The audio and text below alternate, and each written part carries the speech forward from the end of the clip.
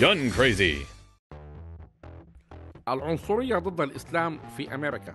جان مورغان هي ملكة نادي الرماية الذي يدعى كيف حيث تأتي العوائل وتمارس نشاط الرماية بشرط أن لا يكونوا مسلمين. حتى لو كنت لست مسلما ولكن مورغان ظنت أنك كذلك.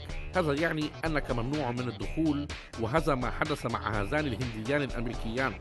ولدى سؤالهما من أين هما أجاب الرجلان أنهما من المجتمع المحلي في هوت سيبرينغ وديانتهم هي الهندوسية. لكن مورغان الغبية ظنت أن الإسلام هو نفسه الهندوس لذا منعتهم من الدخول وقد حملت هذه الصورة على حسابها لتبرهن أنها ليست عنصرية ولا علاقة للموضوع بلون البشرة. ونحن نقول لك أن الموضوع على علاقة بكمية غبائك وصندوق البويا الذي تضعينه بين كتفيك يا سيدتي. تبا لك وللعنصريين أمثالك.